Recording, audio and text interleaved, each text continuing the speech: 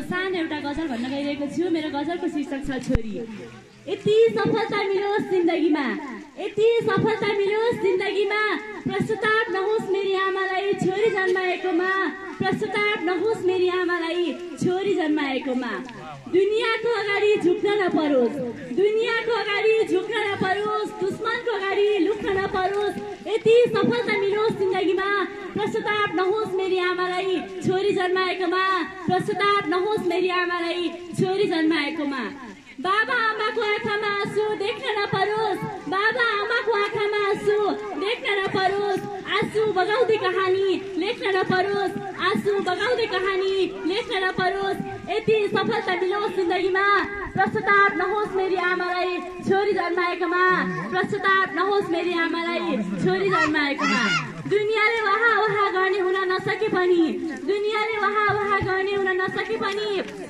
धरतीमा नै बसेर आकाशको जुन छुन नसके पनि। बैगुनीलाई गुल्ने मार्न सकियोस्। बिचको बिरुवा उखालेर सुन्दर फुल सार्न सकियोस्। यति सफलता मिलोस् जिन्दगीमा। प्रस्तुताप नहोस् मेरी आमालाई छोरी जन्माएकोमा। प्रस्तुताप नहोस् मेरी आमालाई छोरी जन्माएकोमा। र अर्को गजल पनि रहेको छ। यो गजलको शीर्षक रहेको छ छोरी नै। छोरा जन्मदा दियो बालेको देखे। छोरा जन्मदा दियो बालेको देखे। छोरी जन्मन नपाउँदै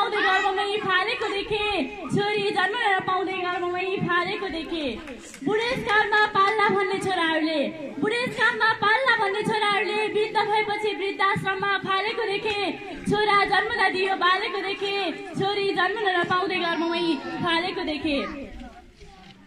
छोरा छोरीका लागि नयाँ कपडा किनी छोरा छोरीका लागि नयाँ कपडा किनी उनले उही पुरानो चोली टालेको देखे छोरा जन्मदा दियो बालेको देखे छोरी जन्मन नपाउँदै गर्ममै फालेको देखे।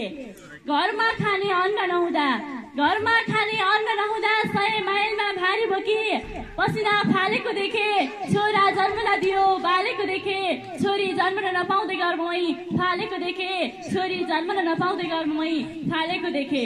छोराले छुट्याएर छुट्टै राख्दा पनि छोराले छुट्याएर छुट्टै राख्दा पनि छोराकै तारिफ गर्दै बाबा आमा हाँसेको देखे छोरा जन्मदा दियो बालेको देखे छोरी जन्मन नपाउँदै गर्ममै फालेको देखे छोरी जन्मन नपाउँदै गर्ममै फालेको देखे। छोराले आश्रममा लगेपछि त्यही छोराले आश्रममा लगेपछिदेखि छोरीले बाबा